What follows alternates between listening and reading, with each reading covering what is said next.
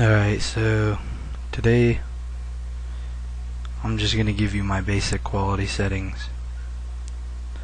Alright, we'll start off in Pinnacle. Just take your normal clip. Uh, if you want to know what they're recording, these are my settings. Over here, just have everything in the middle. Except for your sharpness, have that, I don't know, between maybe the third and fourth one from the bottom. Just whatever you prefer.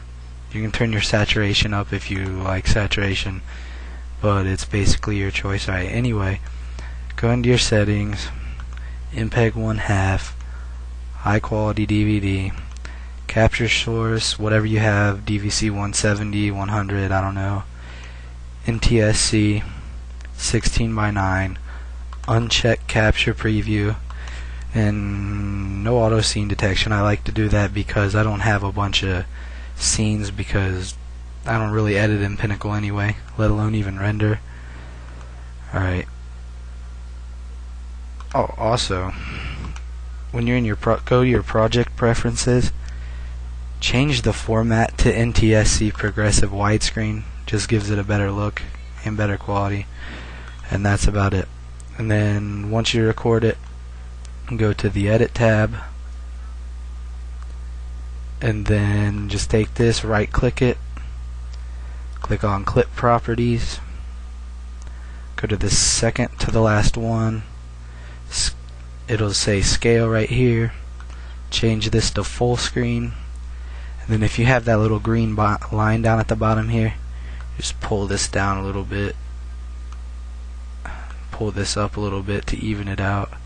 And then to get rid of your black lines just click and drag past there do that with the other side too. And then if you want like the widescreen effect go to crop and then just bring your thing down a little bit and then you'll get a little black bar up there. And do the same thing right here. And then when you're gonna render it go into make movie. Make sure it's on MPEG 4 your preset change it to custom and go to settings all of this stuff can stay the same. Change the resolution to custom. Change width to 1000. Now when you do that, it's automatic. See, it's automatically going to change it to 1008.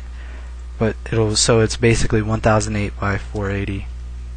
And then hit OK. And then you just hit create file. I'm not going to do that because that'll just take more time. Alright, now Vegas. You have your clip whatever you, I don't know, however you rendered it.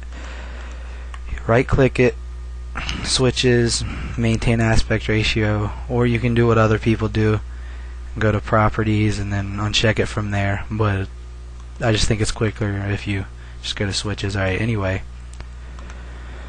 If you have like the black bars, once again, just take it.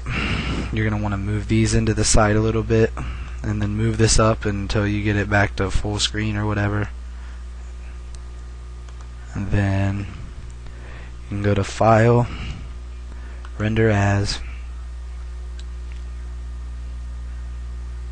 Alright make sure it's on Windows Media Video V9 and then change your uh, template for the start at 3 Mbps video and then go to custom. Change the video rendering quality to best. You don't need to mess with the audio it's fine. You can go to video all this stuff stays the same right here.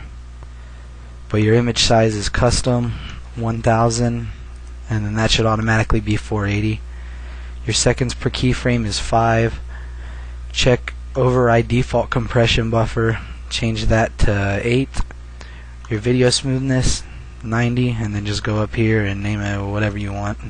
We'll just put quality test for Camtasia and then save it and then you can just start rendering your video. Um, any questions, feel free to leave a comment or message